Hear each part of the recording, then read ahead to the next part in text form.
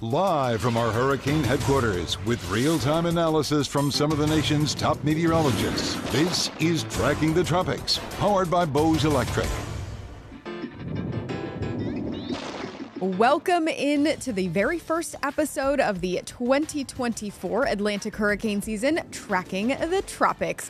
I am your host, meteorologist Amanda Holly, and uh, we have a full episode for you today and a full season ahead for sure. If you've never joined us on Tracking the Tropics, it is a very interactive program where we answer your questions live in real time. We have a panel of meteorologists joining us uh, each and every single week. We are live at, on Tuesdays at 12:30 Eastern Time every single Tuesday whether there is a storm out there or not and even more when there are storms out there. So welcome into this very first episode. I want to bring in my panel of meteorologists joining me.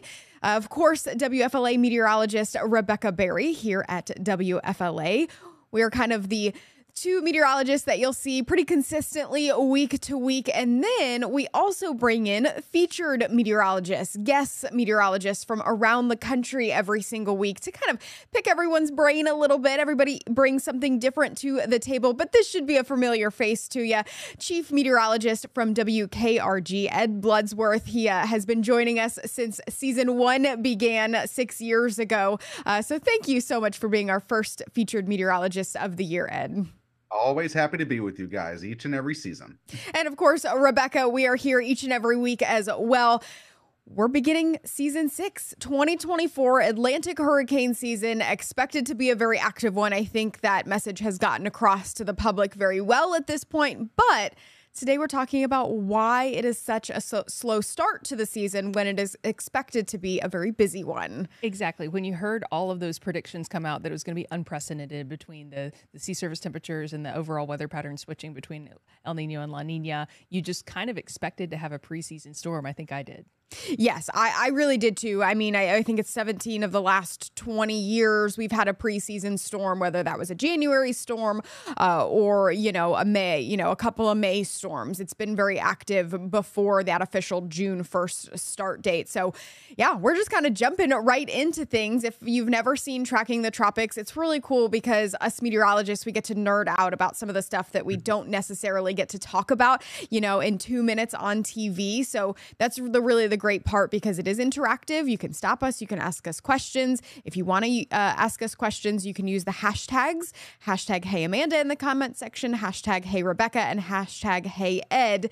And that lets us know that we can put your comment on screen and then we can answer it. But again, we get we get pretty nerdy on this show, which is why we love it because we can go a little more in depth of of why of what is going on out there in the tropics. Right now, you're looking at a satellite map that says tracking the tropics with nothing else on it because nothing else is out there. But uh, we do want to talk a little bit about what tracking the tropics is. Again, it is a weekly stream. This year, we are doing Tuesdays at 12:30 p.m. Eastern time on whatever platform that you are watching now. We are on our app. We are on our Facebook page, specifically the WFLA app and Facebook page. Uh, this will also re-air on YouTube uh, and, and the podcast streaming services as well. But we're also live for important updates and especially those landfalling storms as well.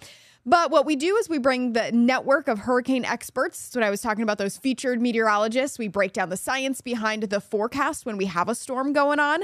And uh, again, Ed lives in Mobile, Alabama. So he's also in the Gulf Coast states. But we also bring in meteorologists from around the country because, uh, well, we all, stud- we all studied those uh, tropical storms and tropical cyclones during our uh, schooling. So we all have an idea and definitely bring something different to the table. Ed, tell me what what your favorite part about tracking the tropics is, is because you know you, you started with us with season one, of course, back here at WFLA, and you keep coming back for more.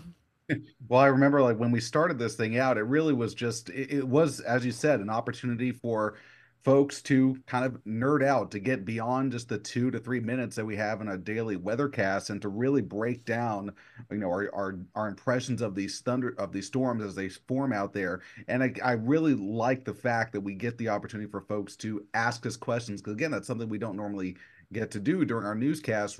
In the middle of a newscast you get folks to ask ask any questions and again, we get to really break down the science. I tend to think people are a little bit more weather savvy now than I think a lot of uh, folks to, in our industry give uh, give folks credit for just with so much information but the, I, the other thing i love about this it's a good uh, opportunity for us to kind of make our way through all the noise out there and really get down to uh, what's the what are the most important things for folks to take away when it comes to tropical storms and hurricanes in the Atlantic.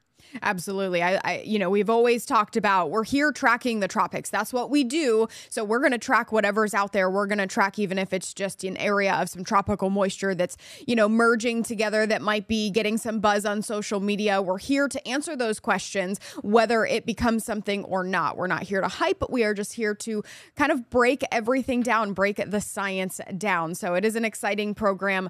Uh, and again, we are live week to week. If you have a topic that you'd like us to cover over the next six months, yes, believe it or not, we have six months of hurricane season ahead of us. Uh, then please leave that in the comment section as well. We'll keep an eye on it because when it is quiet, like a week today, when we don't have a storm to track or a forecast model to discuss, uh, or you know, to talk about the European versus the GFS, we talk about something specific. We talk about a you know a deeper topic that uh, might get asked as a question.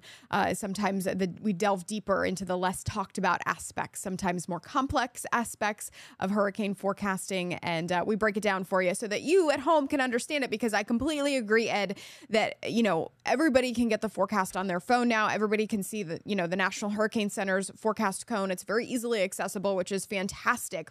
But a lot of times, uh, the forecast needs a little bit more explaining. So that is what we do here on Tracking the Tropics. And I'm excited for uh, the next six months. Hopefully, that, you know, maybe all the storms will stay out in the Atlantic. Unfortunately, I don't necessarily think, though, that uh, is what is going to happen.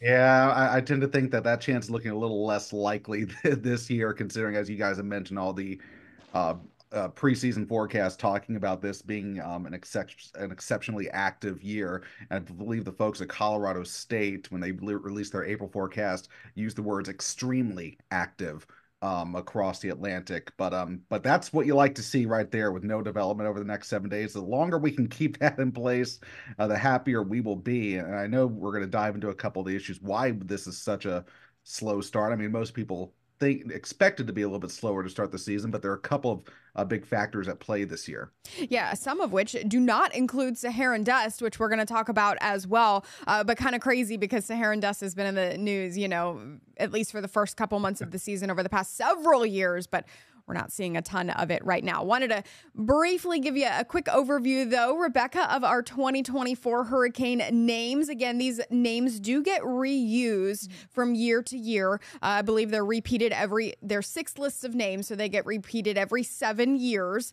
Uh, so the first name on our list this year is Alberto. Yes, and if storms are particularly deadly or damaging, they do retire the names and they replace them, and it gets harder and harder to do that because the the names uh, alternate between male and female. They're also looking at more uh, inclusion in terms of names that are not just necessarily uh, a certain race or a certain from a certain country. And of course the i names are getting really difficult because that's the most retired name. That time of the season uh, when we hit the i storms is really active. And so i think we might end up starting to see some really wild i names as we move forward over the next couple of years. They're going to have to get creative. I the i name this year of course being isaac. So we will watch that one closely uh, but we have a lot of names to get through before that uh, i name, of course, right? So, uh, you know, I, I, do anticipate us going through quite a few of these names, but uh, the official pronunciation for a couple of these, we were looking at it earlier. Luckily, there's not a ton of uh, hard, hard to pronounce names this year. We've got Alberto, it is Alberto, and then we have Beryl. Chris, Debbie, Ernesto, Francine, Gordon, and it is Helene. And then I think the rest are pretty self explanatory there. It's not an Isaias year. It is not yes. an Isaias year. also, I actually had someone uh, last week, uh, actually just in the grocery store, we were just talking about this and asked me where, where do they come up with, with all yeah. these names? Like if you do a deep dive into the history of naming tropical systems, it's, it's pretty remarkable. I mean, uh, they started going, they started introducing male names back in 1979. And then, of course, last year was the first year, and I, I think since 20, correct me if I'm wrong here, I believe it's since 2014, I believe, since that we did not retire a name off the list. Um, I, I know that that was just kind of an, bit unusual. I know a lot of folks were watching Idalia, another I name that we remember last year. But yeah, thankfully, no complicated names. But again, a good reminder to folks too that if this you know hyperactive season does come to fruition, it's it's possible that we could make it through the list of names. And nice reminder to folks that we no longer use the Greek alphabet anymore. That's right. They have a an alternative list of names now. Uh, that is a set list that they will, you know, break out. I don't have that graphic ready for you. Yeah. We'll certainly uh, introduce it at some point over the course of the season. Uh, and I, I, agree, Ed. You know, there's a there's a high likability that we will get to that alternative names list. So they're regular names. Um, they're not the Greek alphabet uh, letters anymore. That if we go through all of these, then we would use the alternate list of names. So hopefully, we don't get there, but again, high likability that we do because of the actual forecast. So let's get to that forecast so that we can see it, and then we will go through the uh, kind of the factors on why we haven't really seen a preseason storm just yet, and when we might actually see our first uh, our first name storm. But speaking of name storms and the forecast, an average year contains 14 name storms, seven hurricanes, and then three of those being major hurricanes. So when we say extremely active or hyper active. Here's why. Both Colorado State University and NOAA and several of the other uh, organizations that put out these preseason forecasts, they are all calling for a hyperactive season. 23 named storms from Colorado State University, which is kind of right in the middle of NOAA's range. They always give a range, um, and that would be 17 to 25. 11 hurricanes from Colorado State, 8 to 13 from NOAA five major hurricanes and four to seven of those uh, for NOAA. Uh, that's, I mean, that is, uh, they said it, both of them. This is the highest forecast that they have ever issued. Yeah. And I was actually speaking with um, one of the research um, team members there for Colorado State, Dr. Levi Silvers, a couple of weeks ago, and um, and just kind of interested to go into sort of the you know deep into the weeds as to why you know this forecast uh, was so active, and you know um, th- this they said this was their highest forecast total that they ever issued in the month of April. They'll of course issue updates throughout the course of the season, um, but there are some key factors at play uh, this year, and they're con- compare. They look at where the Atlantic Basin is now. And they compare it to some other notable years, and based off of what they're seeing, two of the years that really caught my eye was uh, right now conditions are similar to what we had back in 2010 and 2020 which was mm. Yeah, no, exactly. Yeah. That's the yeah. I think a lot of folks would like to forget in many respects, but um, but it was the most active uh, season on record. Uh, that season produced thirty uh, named storms. So um, and you got you, have, you actually have a perfect graphic segueing into why one of the big factors that we're we're seeing and look at all that red on the Atlantic Basin. Yeah, record hot temperatures, not just in the Atlantic, but the Caribbean, the Gulf of Mexico. I did a little breakout segment on this a couple of weeks ago, uh, last week. Uh, couple of weeks ago. And uh, we I, I, looked into how hot it is right now. All of the basins are running uh, th- between th- two and a half and three degrees warmer than uh, what we should be for this time of year, which puts us in record territory. The Caribbean itself is actually uh, warmer right now than during peak hurricane season. Uh, so we're talking about really, really warm water temperatures. The Gulf of Mexico off of Clearwater Beach hit 90 degrees uh, a couple of weeks ago. It has come down a little bit, but hit 90 degrees already. And that was Insane. before June 1st. So, yes, very, very warm warm waters out there, which we know. And if you don't know, uh, you will find out here on Tracking the Tropics over the next six months that warm water temperatures fuel these tropical systems. If they can get going, they feed off of these record warm waters and they will, uh, Rebecca, they will uh, possibly rapidly intensify. They, these storms can grow very, very quickly. Absolutely. And we do have some um, some questions and comments coming in. So I want to remind you if you just joined, you can use a hashtag to let us see your questions or use or your comments. And so if you use the hashtag hashtag Hey Amanda, hashtag Hey Rebecca, or hashtag Hey Ed, we will be able to see your comments. We'll be able to answer them. And this one goes to Amanda. Tampa's been dodging bullets since I moved here 16 years ago. Could this be our year? It's definitely possible, Corey. Yes, thank you for your uh, question there you know, we've been dodging, a, you know, a, bullet like that for a hundred years. A lot of people say that we have Indian burial grounds that protect our area, but it's actually true that we have been hit by a major hurricane head on before here in the Tampa Bay area. So uh, we're kind of overdue at this point. And you know, is it our year? Tough to say if you know we'll be hit directly by a storm or not, but we need to be prepared for it because we're going to have plenty of storms to track over the next six months. So we will be prepared prepared for that. But Rebecca, let's start talking about why we haven't seen a preseason storm because we have all these factors there. We have record warm water temperatures. We have La Nina, which we'll talk about here over the next couple of weeks as well. But today we really wanted to talk about why we haven't seen a storm over the past couple of weeks with all of the factors being there, including those warm waters. Yes. And so we've been talking on WFLA all basically three or four weeks now about this heat dome. It's a high pressure or ridge and it's it's positioned across the center of Mexico. And when you have high pressure of that size and of that power, it really keeps things hot and dry. We saw record heat across Mexico. We saw those stories about the poor sloths dying of heat exhaustion and falling out of the trees. It's basically the opposite of the iguana in the winter in South Florida problem. It was just so incredibly hot over Mexico and high and around a high pressure air travels clockwise. And so that means we've got really quiet conditions and across the gulf we've got sinking air as well as the, the overall pattern with the air going clockwise around that high pressure system basically right over the where we typically see storms forming this time of the year. It's robbed the atmosphere from all of that moisture and also the the potential rotating winds there. So really until this ridge goes away we're expecting it to stay quiet yeah, and it also, I, am sure there's comments coming in, you know, about rainy season for us locally because we haven't seen a lot of rain across our area. This is another reason why our rainy season really hasn't kicked off yet. Uh, we did get some nice downpours yesterday, but again, just a factor leading into why it's been dry, why we have not seen uh, a, a tropical system close to home because this time of year, May and June, we do look close to home. This is where typical tropical development happens uh, for the first month of hurricane season season. And that is because, Ed, as you know very well, we still have some late season fronts coming in. They can stall out across the area, and we can sometimes see quick spin ups of lower end tropical systems forming off those those fronts. But again, we just really haven't seen that this year. Yeah, you're in a normal year, you know, you don't have this historic you know ridge sitting over Mexico, which is acting as a, a, as a suppressing mechanism across the Gulf of Mexico, um, in these typically more favored areas. And again, and across even the central Gulf and even here on the northern Gulf Coast, we're starting to get our our, our water temperatures now climbing into the uh, into the 80s as well.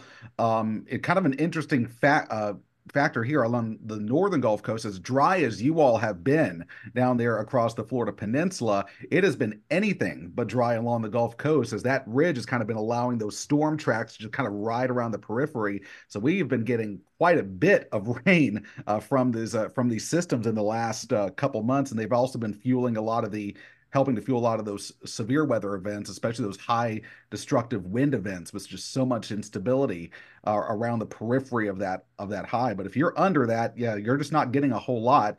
And you know, it's bad for the drought situation in some respects, but I guess you can say on a on a brighter side, it's helping to suppress the chance of anything tropical trying to develop in these historically uh, more favored regions in the uh, Western Caribbean and the Gulf of Mexico. Um, so, and you know, still wind shear is still pretty high across the rest of the basin at, at this time. So we're we're noting some even the tropical intertropical convergence zone and some tropical waves and rolling off Africa. But right now, wind shear is just too high, generally speaking, and that's the other big thing why the Gulf of Mexico typically on a normal year you don't have this big ridge in place and you have typically some fairly uh, lower wind shear values across the uh, across the Gulf of Mexico. But again, long as that thing is still in place there, the chance of anything tropical developing uh, over the short term is pretty low.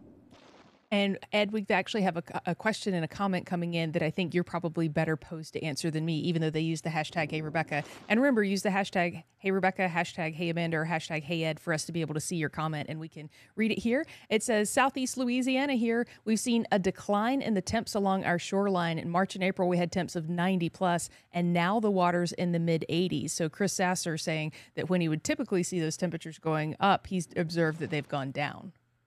And part of the reason would be here in the last couple of weeks, and you mentioned the last month, it has been incredibly active in the last month along the northern Gulf Coast with these.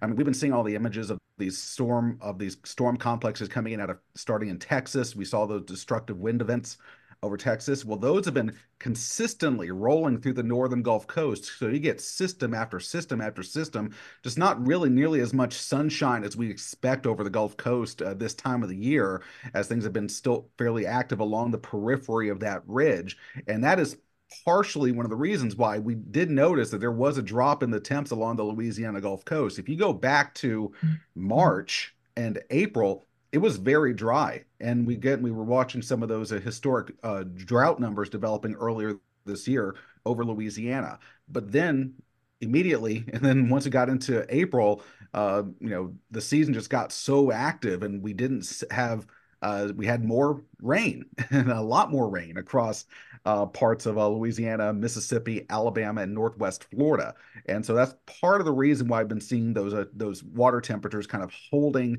you know, closer average right along the immediate coast. But I, I, I caution folks there, once you go about, you know, 50, 60 miles off the coast, get into the central Gulf, those water temperatures are running quite hot. So it's although the immediate coastline's been seeing a little bit of a reprieve from that, the central Gulf, it's not a, it's not the same story. And that leads us perfectly into our next question, which we're going to send towards Amanda because between her meteorology expertise and her fishing and diving, no one is more perfect to answer this question. How deep does hot or warm water go in the water offshore?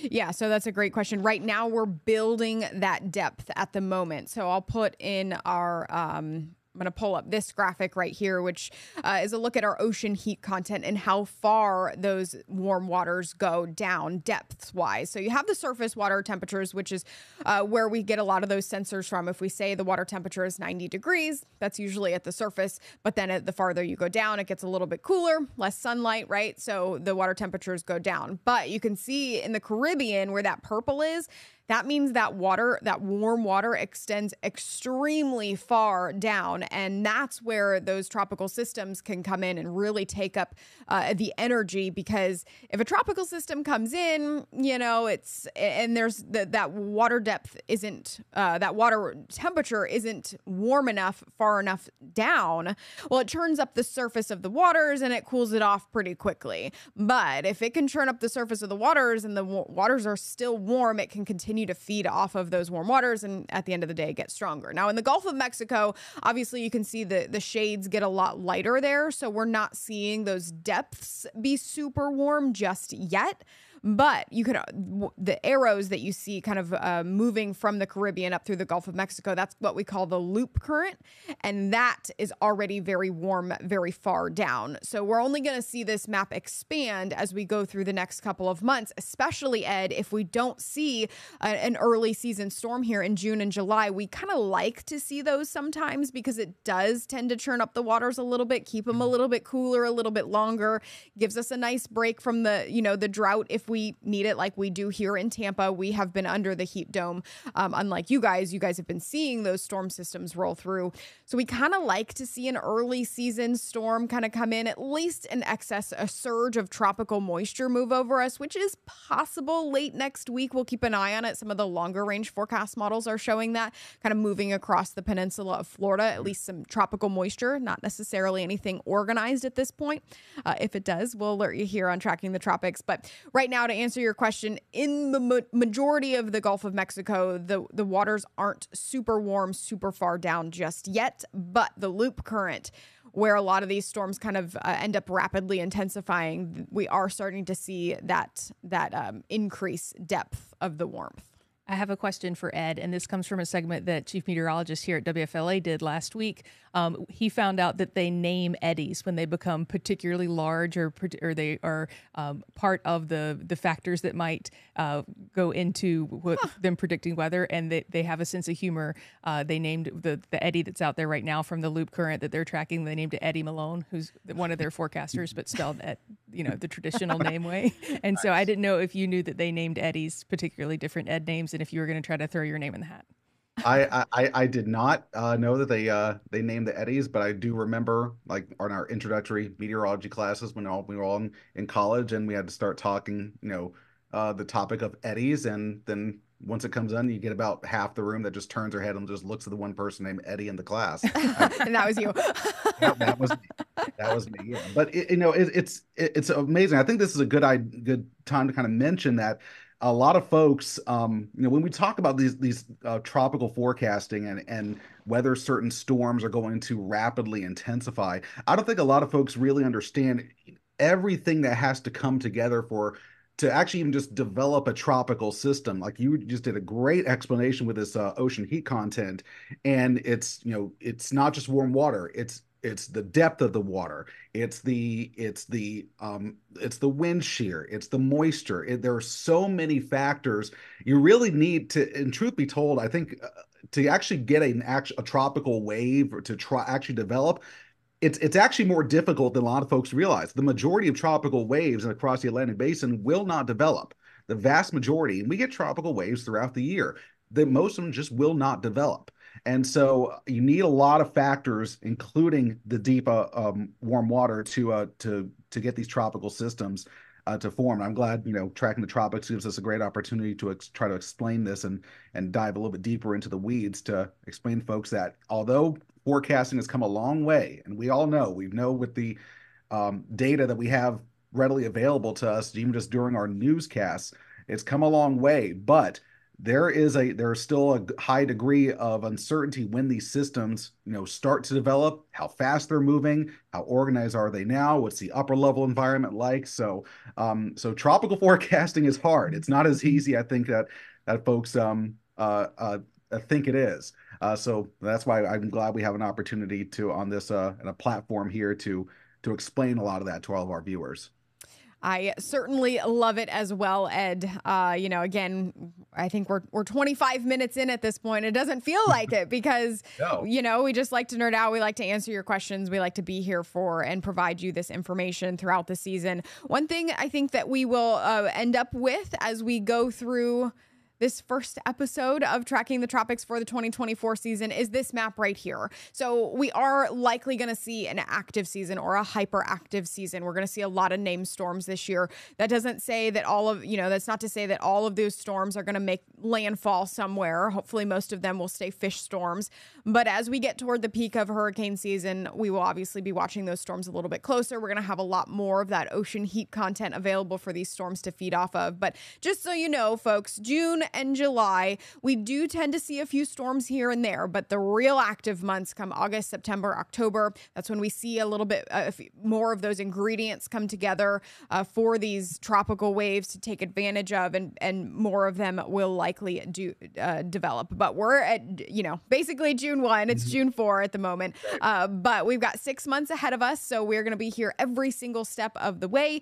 Uh, if you if you ever have a question that you want us to cover, please send it our way. Uh, we will definitely cover it here on Tracking the Tropics, whether that's a topic or we just answer it as a question if you uh, have it in the in the comments section. But I think we are going to wrap up our official first episode of the 2024 season. I want to send a huge thank you to WKRG Chief Meteorologist Ed Bloodsworth. There, uh, definitely a familiar face here on the program. We always love having you and and you know having your expertise uh, as a meteorologist along the Gulf Coast. Obviously, you've covered hurricanes here in Tampa. You've covered hurricanes there uh, in Mobile as well. So I'm sure we'll be seeing you again this season.